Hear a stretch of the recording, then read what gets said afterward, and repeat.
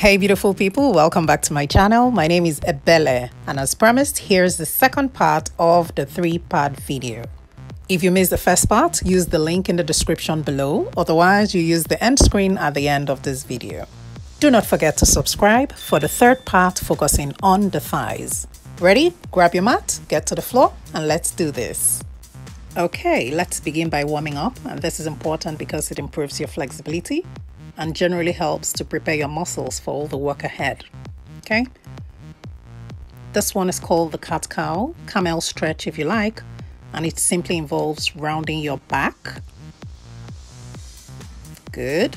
You round your back and you bring it back to that flat tabletop position. Again, and back to this position. So you do this about three times, about four times, and you're fine. And now we're ready for exercise one, which is opposite arm leg raise. Besides building great glutes, this exercise is equally good for your lower back as well as your core, but it's important you maintain form. As you can see here, ensure your fingers are about shoulder height and your feet about hip height, just as a guide. Okay, so once you're ready, now we can go. Inhale, good. Exhale. Inhale through your nose, exhale through your mouth. Exactly. Good. Squeeze, squeeze your glutes. And as I always say, if you do fewer reps with great form, you're better off than someone who does a whole lot of reps with the wrong form. Okay? So quality over quantity. Swimming is your next move at number two.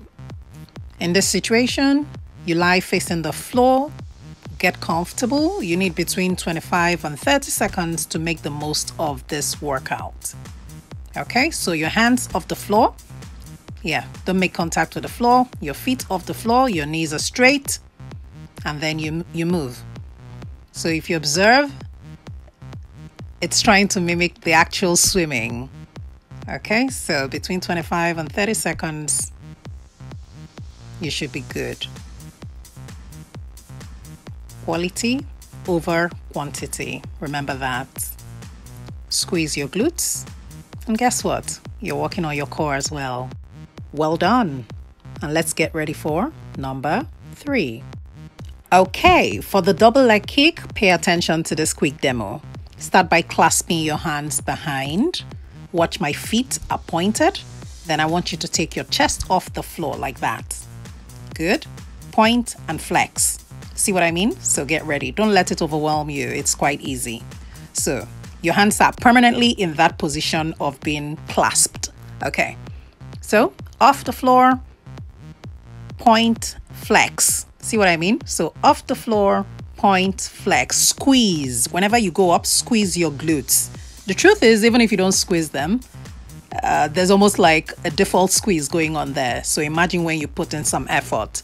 Okay, you do this seven times, you should be fine. 25 seconds should suffice for all of this. Good. See, easy. And did I mention? This exercise is great for your back as well. Nice. Welcome to your fourth move. With leg circles, we're going in circles. But I keep reminding you to engage that midsection, engage your core. It's important. Okay, so stretch out your right pointed leg and we're going in circles towards the body first. Okay, nice. Two, three, four, five, six, seven, eight. We go in the opposite direction. So clockwise now. Good. In about 20 seconds with each leg, you're fine. And the thing is, remember, whatever you do on the right side, you should replicate on the other side. You want that balance. The interesting thing about Pilates is sometimes it appears as though you're doing nothing. I mean, looking at it, one could say, oh, what is she doing? Quit talking, try it yourself, and find out how charged up all the muscle fibers within you would become in only a matter of minutes. Okay, that's a beautiful thing about Pilates. It's low impact, but it's highly effective. At number five, the only thing going down would be the legs, not your life, not your ambition. I'll show you how this works. Engage your midsection. Good. Remember, form is important. And then you assume the plank position like that. Nice. Remember, form is important. So do not do this. No. this way and then we move. One, two, three. It looks pretty straightforward, which in reality it is, but you are doing a lot. Your glutes are getting built, they are getting tightened. Good. Like that, like that. In 20 seconds, you should be done with both sides. Exactly. Now, this is a good time to catch your breath. Good. Go into the rest pose and stretch it out. Good. It's equally a good time to like this video if you haven't done that. And do not forget to subscribe to join our amazing family of great minds. Yes. So it's hello number six with side lying bicycle.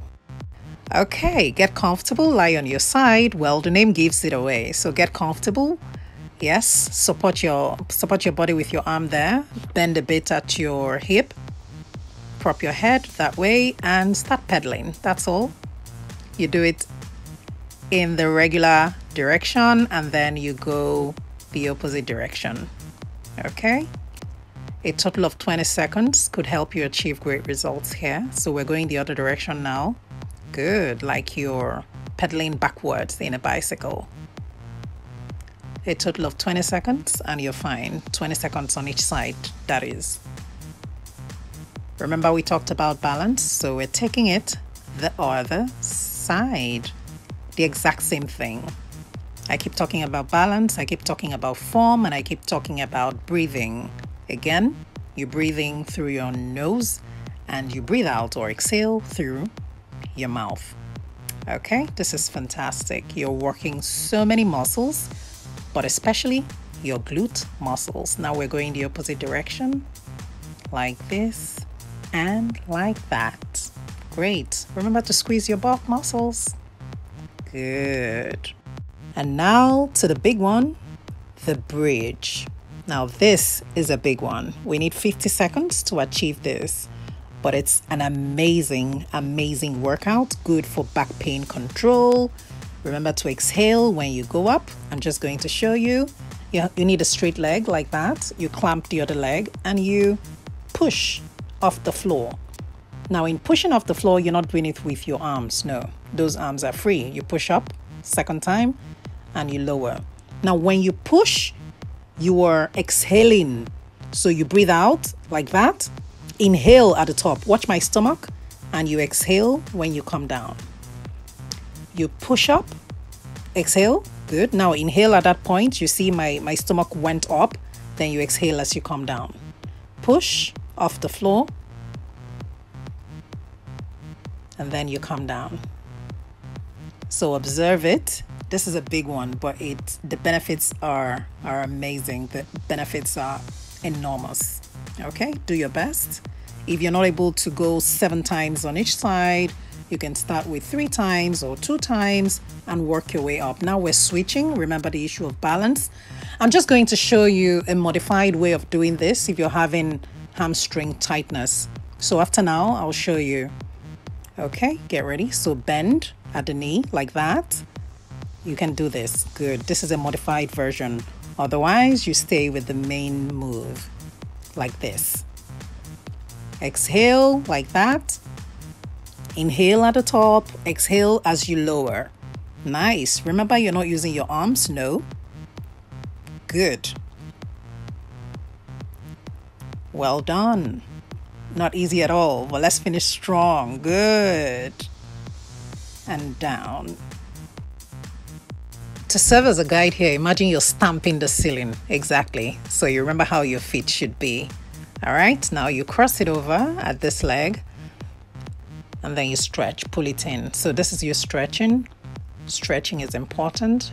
So you're you're releasing all the tension in there. Do the same to the other side with the other side and then you're going to feel it all along this area that I'm going to show you in a second right now.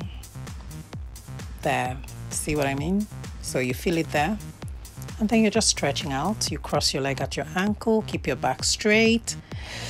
Inhale, stretch that neck. Good. Hands up. Maintain the straight back as you come down. Yes, you did it. Applause, applause. Well done. You've done it. Okay. Do not forget to check out the other videos I've done. I'll link them here and here. Cheers, people.